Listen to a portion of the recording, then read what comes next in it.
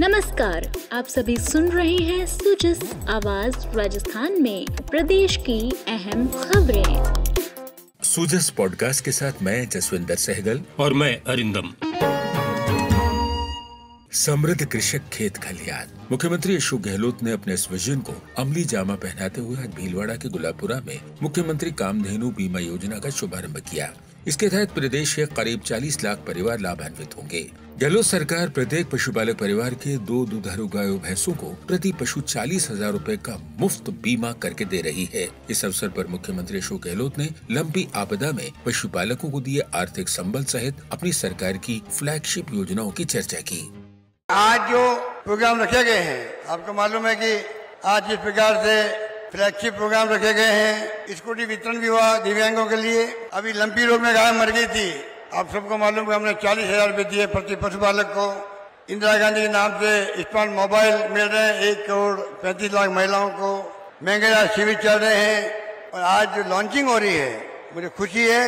आज जो मैंने वादा किया था आपसे, महँगाई शिविरों के अंदर काम देनु योजना। आज वो दिन आ गया है। आज हम लोग घोषणा कर रहे हैं, आज के बाद में, आज के दिन से आप लोगों के 80 लाख परिवारों को फ़ायदा होगा, बीमा किया जा रहा है गाय का, भैंस का, प्रीमियम सरकार भरेगी, आपको नहीं भरना पड़ेगा, चालीस हज़ार का बीमा होगा जिसकी लॉन्चिंग में कर रहा हूँ, अभी आपके सामने कर रहा हूँ। मुख्यमंत्री ने महिलाओं को इंदिरा स्मार्टफ़ोन दिए और मेधावी छात्राओं को स्कूटियाँ वितरित की। उन्होंने पशुपालन कार्मिकों के लिए कुछ महत्वपूर्ण ऐलान भी किए। इस मौके पर कहना चाहूँगा मैं, प्रथम श्रेणी के पशु चिकित्सा के अधिकारी है। पाँच हज़ार प्रतिमा विशेष परियोजना भत्ता दिया जाएगा, ये मैं घोषणा कर रहा हूँ। पशुपालन विभाग के पशुधन सहायक पशुधन प्रसार अधिकारी को ढाई सौ रुपये प्रतिमा, विशेष हार्ड ड्यूटी भत्ता दिया जाएगा।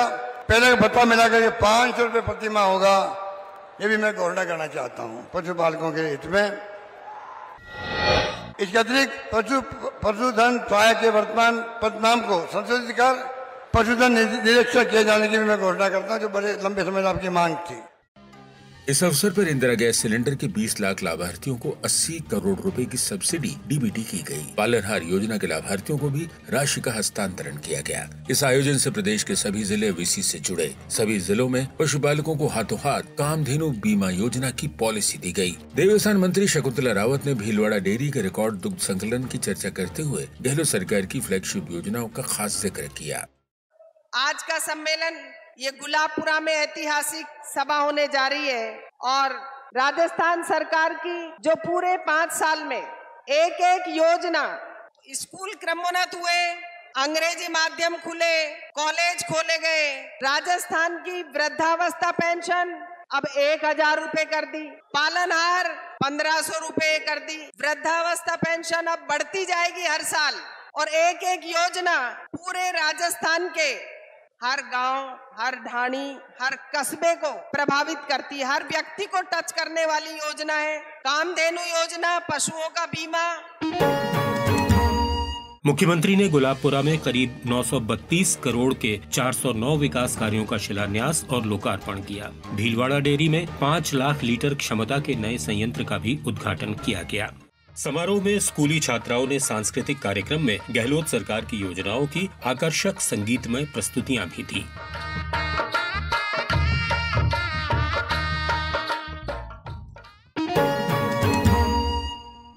और प्रदेश के विकास के लिए मुख्यमंत्री स्तर पर जारी कुछ महत्वपूर्ण स्वीकृतियाँ।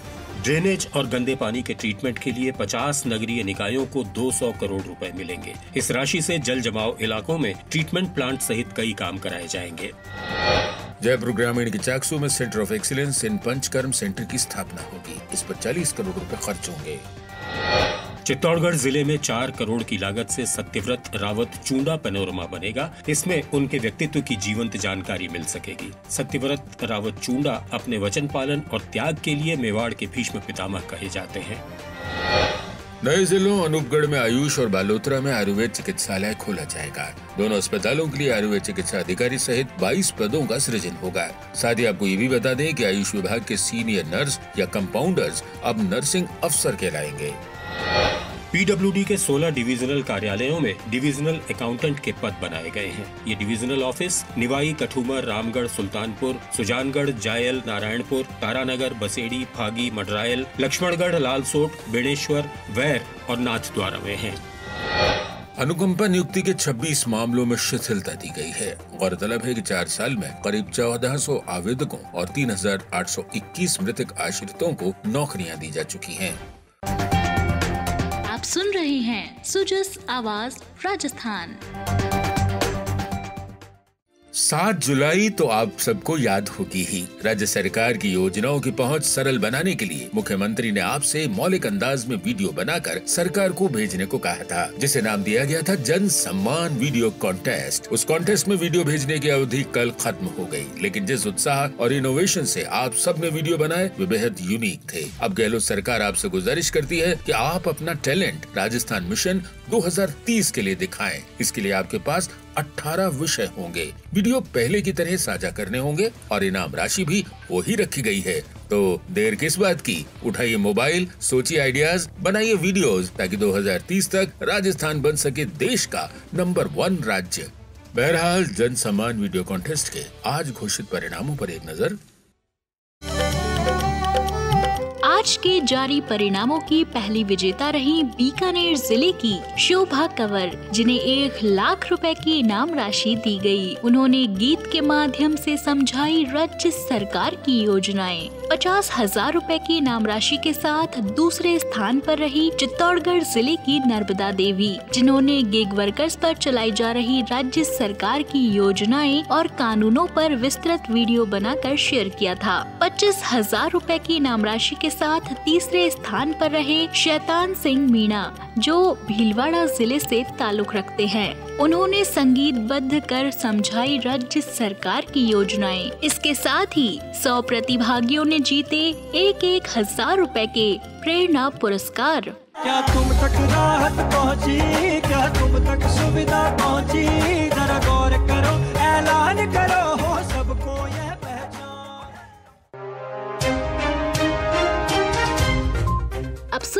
जिलों का राउंड अप कोटा हवाई अड्डे के लिए यूआईटी ने ज़मीन मुहैया करा दी है। नगरीय विकास मंत्री शांति धारीवाल ने केंद्र से हुए पत्र व्यवहार का ब्यौरा देते हुए कहा कि राज्य सरकार ने अपने स्तर पर सारी व्यवस्थाएँ कर ली हैं। उन्होंने ये भी बताया कि पुराने एरोड्रोम की ज़मीन का स्वामित्व अपने पास रखकर वहाँ मिनी सचिवालय और ग्रीन जोन विकसित करने की योजना है। विद्यार्थियों को जिम्मेदार नागरिक बनाने में शिक्षक की महत्वपूर्ण भूमिका है। ये कहना है सामाजिक न्याय अधिकारिता मंत्री टीकाराम चूली का। शिक्षक दिवस पर अलवर में हुए जिला स्तरीय समारोह में उन्होंने ओपीएस सहित शिक्षक हित में उठाए गए कदमों और शिक्षा क्षेत्र में गहलोत सरकार के नवाचारों की चर्चा की। ऊर्जा मंत्री भंवर सिंह भाटी ने बीकानेर ज़िले के छिला कश्मीर से राववाला तक 10 किलोमीटर सड़क का शिलान्यास किया। उन्होंने निर्माण कार्यों में गुणवत्ता बनाए रखने की बात कही। ऊर्जा मंत्री ने मज़बूत सड़क तंत्र सहित गहलोत सरकार की कई योजनाओं की चर्चा की।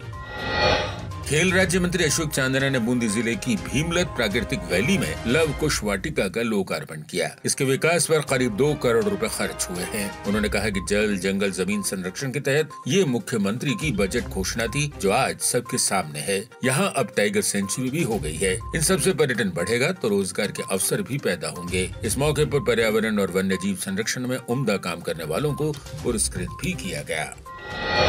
बीस सूत्री कार्यक्रम के उपाध्यक्ष वल्लभ राम पाटीदार ने डूंगरपुर में विभागीय बैठक बुलाई। उन्होंने लक्ष्य आधारित काम करने और गहलोत सरकार की मंशा के अनुरूप आम जन की समस्याएँ दूर कर उन्हें राहत पहुँचाने की बात कही। झालावाड़ प्रशासन ने ज़िले में राशन दुकान खोलने के इच्छुक लोगों से 8 सितंबर तक आवेदन मांगे हैं। यहाँ चार तहसीलों, एक नगर परिषद और एक नगर पालिका क्षेत्र में दुकान अलॉट होनी है। जिला रसद अधिकारी ने बताया कि आवेदन संबंधी सारी जानकारी वेबसाइट पर उपलब्ध है। धौलपुर ज़िले को एनीमिया मुक्त बनाने के लिए शक्ति दिवस मनाया गया। सीएमएचओ डॉक्टर जयंती लाल मीणा ने बताया कि हर मंगलवार को सरकारी स्वास्थ्य केंद्रों स्कूलों और आंगनबाड़ियों में एनीमिया की स्क्रीनिंग जाँच, इलाज और जागरूकता के लिए कई गतिविधियाँ होती हैं। कल श्री कृष्ण जन्माष्टमी है। प्रदेश भर में इस पावन पर्व का उत्साह नज़र आ रहा है। कृष्ण मंदिरों में सजावट का काम पूरा हो चुका है और विशेष झांकियाँ सजाई जा रही हैं। जयपुर के तो आराध्य ही श्री राधा गोविंद देव जी हैं। यहाँ भक्तों की आस्था अलग ही स्तर पर है और चारों तरफ़ गूंज है राधा कृष्ण की। उधर जन्माष्टमी के अवसर पर मुख्यमंत्री श्री अशोक गहलोत ने आज भीलवाड़ा में शाम कथा का आनंद लिया। तो ये थे आज के समाचार। मिलते हैं फिर, तब तक के लिए नमस्कार।